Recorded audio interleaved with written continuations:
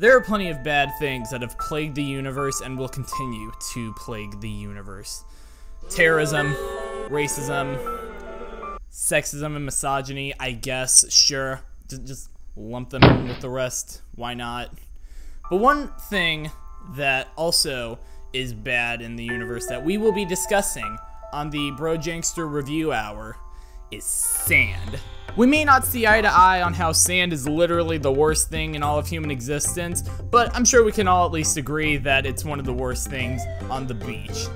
Like, it's hard to run on, it gets in your parts, front and back, and it always just somehow manages to get in your freaking ham and cheese sandwich. Like, I don't, like, I can't, like, freaking I can't even count how many times I've kept like my sandwiches in a nice Ziploc bag and I keep it all the way from from the car trip to the beach and then I freaking open it and I take a bite and I hear a crunching sensation and last time I checked I didn't put any crunchy food in my sandwich so thanks a lot for that sand but on the other hand it does make for a pretty dope Pokemon design so I'll give it a 7 out of 10.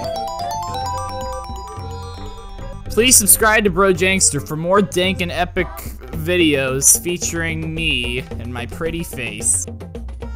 Also, I kind of forgot to mention the, the the memes with Anakin Skywalker from the from Star Trek. He doesn't like sand either because it's coarse, it's rough, it's irritating, and it gets everywhere. So yeah, and Anakin's like the good guy, right? So you can trust him.